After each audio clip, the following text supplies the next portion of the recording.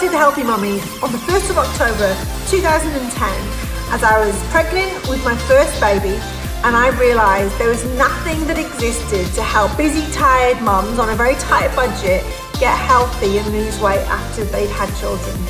I wanted to ensure that we were creating a community, a supportive community that helped mums feel good about themselves, regain body confidence, and did this in a safe and supportive community.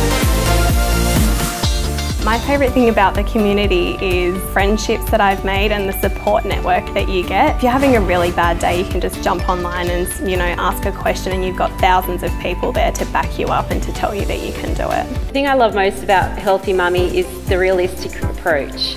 It's designed for real people like me, real mums, working mums. The Healthy Mummy hasn't just changed my lifestyle, it's also changed my kids' lifestyle. I eat better, my kids eat better. And help people physically and mentally. Um, just amazing.